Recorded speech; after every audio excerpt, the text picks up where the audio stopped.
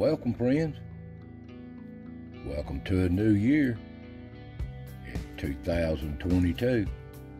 This will be the start, the first start of a new wildlife for the year. Now, it's been some bad weather around here. It's a foggy morning here in East Tennessee. You can see here, it's so beautiful, but the weather is way too warm. So it's supposed to turn winter and maybe get a little bit of snow next week. So, hope you all are doing fine and had a happy new year. But we'll see what our little friend is up to this first video of the year.